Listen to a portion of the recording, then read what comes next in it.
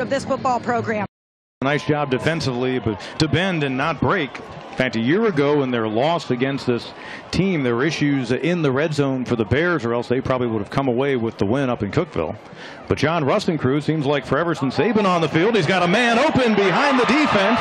Big yards for the Bears, and breaking free and away from the pursuit for Mercer. And a great gain by Robert Brown, the tight end. He really hasn't seen a whole lot of duty this year. In fact, that's his first catch so far, and it goes for a huge gain and a first down in Tennessee Tech territory. Well, look how easy it is to change the entire outlook of a football game. You you pick up a fumble recovery, and then on the very first play, you got a guy wide open scampering down the sideline, and just like that, you can turn the entire tide of a ball game.